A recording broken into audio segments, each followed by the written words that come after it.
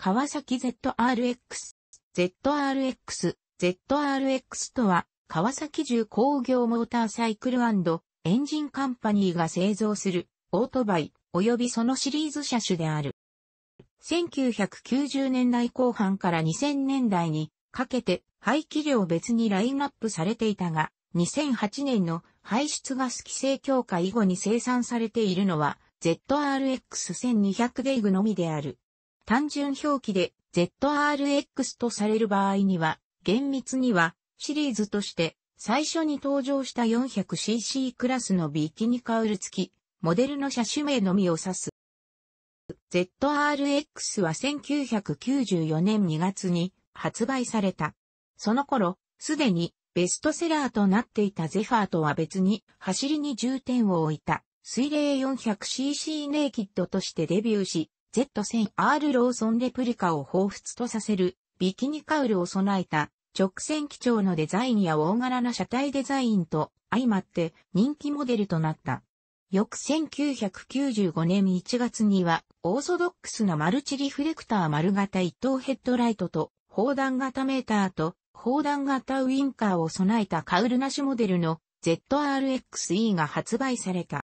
ZRX と ZRXE は車体外装のカラーリングやグラフィックパターンの違いはあるものの、前述のヘッドライト周り及びウインカーを除けば、ほぼ共通のプラットフォームを持つ車種である。ZRXE は1年遅れで登場した派生車種であるが、1998年モデルの E4 と F4 からは足並みを揃えてマイナーチェンジを受けており、基本仕様は共通している。同クラスの他車種に対して大柄なボディとなっており、2008年の生産終了に至るまで 600cc モデルは最終的に発売されなかった。1998年2月にマイナーチェンジが行われ、400cc クラスで唯一のロックポットキャリパー、トキコ製を装備し、タイヤがラジアル化され、マフラーはメガホンタイプからオーソドックスなスポーツタイプへと変更された。また2004年3月には、シリーズ初の特別仕様車として、ライムグリーンの車体色に通常モデルとは異なる、ストライプを入れ、社外マフラー、ビート製ナサートを取り付けた AR 特別使用車が100台限定で発売された。2004年モデルからイモビライザーが標準装備され、2005年モデルからはビキニカウルを ZRX1200R と同一のものとし、デザイン上の差異が少なくなった。2008年9月の自動車排出ガス規制により、メーカーから全仕様の生産終了が発表された。ZRX1100 は1996年の秋に行われたケルン賞にて発表され、1996年12月に発売された1997年モデル。先に発売されていた 400cc モデルの人気と市場からの水冷リッターネイキッドを望む声に応えて市販化された。エンジンは ZZR1100、GPZ1100 のエンジンをベースに中低速域を重視した設定とし、日本仕様の出力は 100PS、8500、RPM で、輸出仕様は 106PS、8700、RPM だった。リッターネイキッドとしてはコンパクトで軽量な車体により、スポーツバイクとして高評価を受けた。1998年モデルでは Z1000R ローソンレプリカ風のグラフィックが初めて採用された。カウルを装備しない仕様の ZRX1100E も1996年12月の発売以来、各マイナーチェンジごとに同時発売された。400cc モデル同様の手法でパッケージングされており、メッキ仕上げの砲弾型メーターカバーを装備する。細かな際としては、400cc モデルではウインカーが、ZRX は角型の黒色で、ZRXE では丸型のメッキとなっているのに対し、ZRX1100 と ZRX1100E では共に角型の黒色タイプのウインカーを共用している。また、車体色に関しては、ZRX1100E では単色のみが設定され、ストライプやラインなどのグラフィックの際はなかった。ZRX1100、ZRX1100E ともに2001年の ZRX1200 へのフルモデルチェンジまで他車種との部品統一や細かな仕様変更を経て生産終了に至った。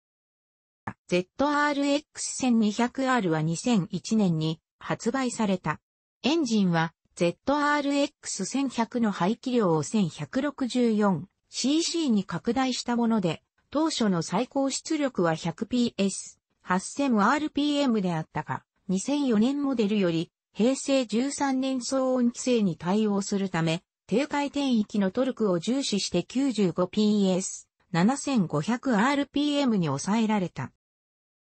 基本的な車体構造は ZRX1100 のものを受け継いでいるが、フレームとスイングアームを改良し、合成アップが図られ、車体の合成バランスも見直され操縦性が大きく向上した。2004年に川崎正規代理店アークから専用モデルが200台限定で発売された。盗難防止モビライザーや時速 260km、フルスケールメーター、リミッター付き、クロームメッキエキゾーストパイプチタンサイレンサー、ビーツ製ナサートが装備され、カラーリングはソリッドなライムグリーンに、ストライプの専用色が採用された。2006年にも専用色の限定車が発売された。当初はハーフカウルの ZRX1200S も同時に発売されたが、輸出終了を機に生産終了となり日本仕様も終了となった。その後も ZRX1200R はカラーリングが変更されながら販売されていたが、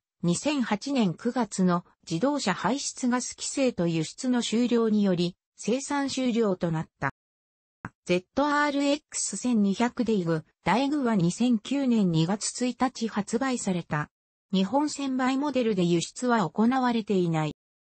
ZX-10R をベースとしたフューエルインジェクションシステムが搭載された。総排気量は従来と同じ 1164cc だが、発進と停止の繰り返しが多い道路事情や、峠等でのツーリングするライダーが増えつつある、日本市場の特殊性を考慮して、再び出力重視の設定としたため、最高出力は 110PS まで引き上げられた。これに対応するため ZZR1200 をベースとした6速トランスミッションに変更され、燃料はハイオークガソリン仕様となった。